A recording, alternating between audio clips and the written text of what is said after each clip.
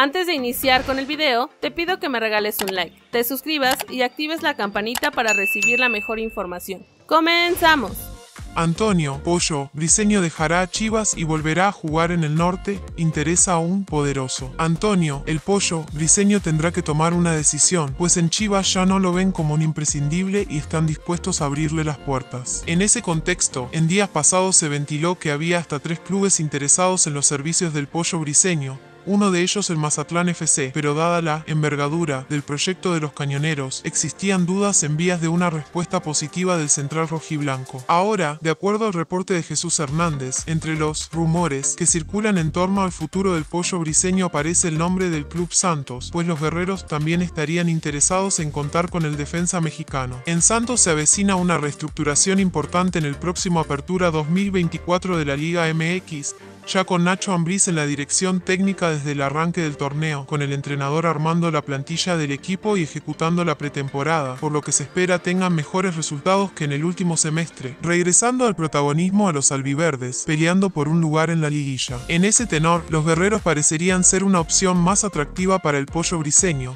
aunque aún restaría conocer el nombre del tercer club interesado por sus servicios. Por otro lado, Santos o Atlas. Mudo Aguirre toma una decisión y define su futuro en la Liga MX. La llegada de Ignacio Ambriz al banquillo de Santos Laguna ha generado cambios al interior del club, ya que el estratega mexicano tiene el objetivo de regresar al cuadro de la comarca a los primeros puestos, a pelear por el título y a ser protagonista en el fútbol mexicano, como lo ha hecho en este siglo. Ambriz tiene una prioridad en este mercado de fichajes y es contratar un delantero, por lo cual quería aprovechar los lazos que hay entre Santos Laguna y Atlas para traer de vuelta a un delantero que siempre ha sido de su gusto, Eduardo Mudo, Aguirre. El Mudo, Aguirre siempre ha sido del gusto de Ambriz, quien incluso trató de ficharlo en su etapa como entrenador de Toluca. En ocasión, Nacho trató de convencer a la directiva y a Grupo Orleji de que Eduardo era la mejor opción para fortalecer al club en el ataque. Sin embargo, el jugador ya tomó una decisión. De acuerdo con múltiples reportes, el préstamo de Aguirre con Atlas terminó este verano, pero el cuadro rojinegro llegó a un acuerdo con Santos Laguna para poder extender su sesión, algo que no gustó mucho a Ambriz, el mexicano reportó hace unos días e inicio pretemporada junto al resto de sus compañeros. Aguirre tuvo un buen torneo con Atlas, disputando 14 encuentros en el Clausura 2024, marcando 6 anotaciones y repartiendo 2 asistencias en 997 minutos disputados. Por último, Rayados y Santos Laguna cierran trato por el fichaje de Rodrigo Aguirre. Los Rayados del Monterrey y los Guerreros del Santos Laguna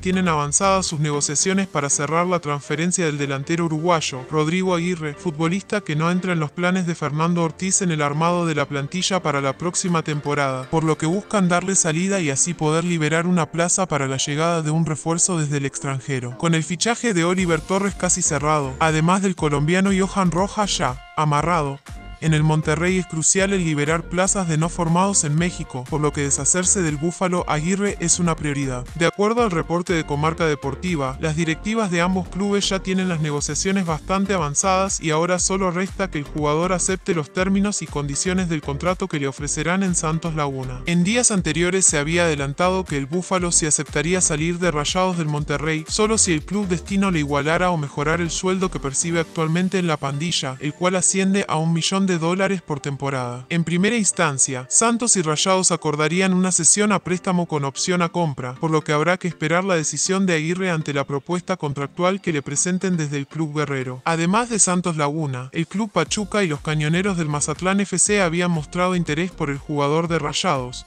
pero de momento ninguno de los dos clubes ha presentado una oferta formal por él. El nacido en Montevideo está tasado en 3 millones de euros en el Portal Transfer Market, lejos de los casi 5 millones de dólares que pagaron los de la pandilla en 2022, cuando terminó su sesión con el Necaxa desde la LDU de Quito.